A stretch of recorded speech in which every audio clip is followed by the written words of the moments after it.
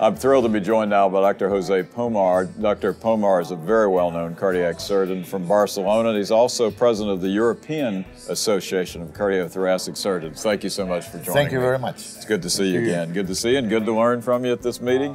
You know, you, um, the conclave is a very interesting meeting. What are your thoughts on this? I think it's a really fantastic meeting. Uh, I have to say that coming from Europe, where most of the techniques were born in the Right. past, uh, for us it's a little bit of a, a strange situation because we have to come here to the States to learn more and more.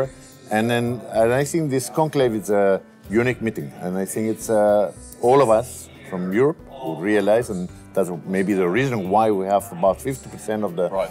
attendees coming from there. Uh, we realized it was a very well organized meeting and uh, an excellent uh, meeting to come here every two years. Well, I mean, it's it's fabulous. The, you know, not only are half, more than half of the participants from Europe, but we have people worldwide. So, I mean, it, it really is a is a melding of uh, lots of intelligence and lots of minds. So, is the approach, uh, since you referenced the fact that a lot of this did begin in Europe, and we've certainly learned and benefited from your knowledge, is the approach to mitral valve surgery now becoming more standardized in Europe?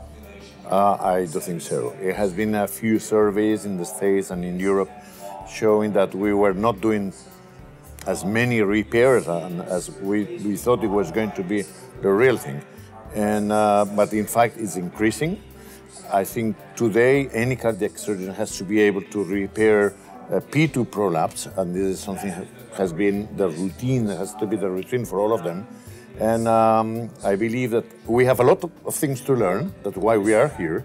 But at the same time, we have many things we already have as a standard in, in the care of the patients. The, and and I think you're exactly right. The, the question, certainly, you've been a been very um, um, key in education and teaching your colleagues and making sure we all learn. How do we go about educating the cardiac surgeons and the cardiologists? That, that's a great question. First, because I'm a believer that we have to get together, cardiologists and surgeons. Uh, I don't know how is that going to happen, but we have to merge and we have to have a, a unique discipline of cardiovascular diseases, and uh, we have to think the patient is the most important thing, not being a surgeon or cardiologist. The second thing is that the, the volumes. Uh, we cannot do this type of surgery uh, in any single center. We need to have like a subspecialty where centers are focusing on this type of repairs and they have they need to have enough volume to be able to teach the techniques. Otherwise, not going to work. So we need to do the two things.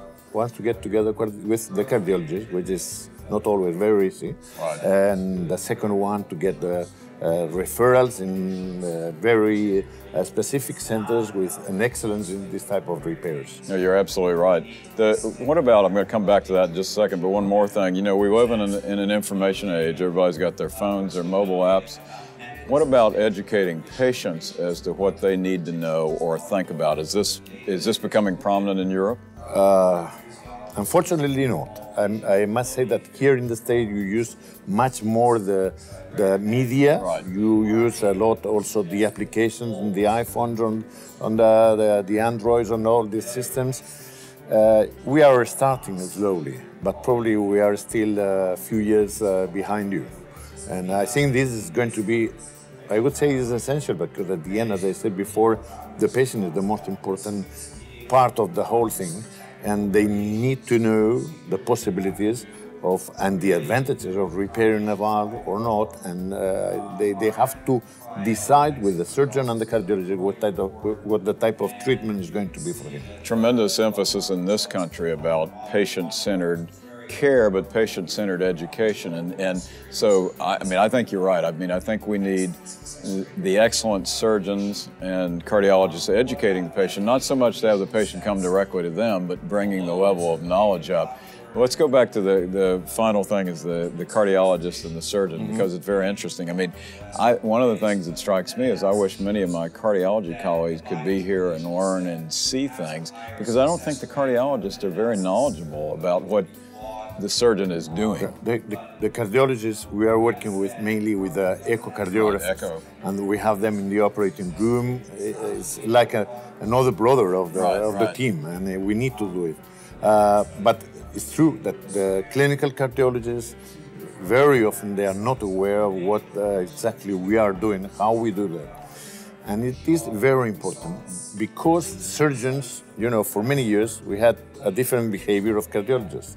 And some surgeons may feel that whatever I do, the way I repair a valve, if I can say I have repaired the valve, this is the best for the patient. And perhaps sometimes it's only the best for him.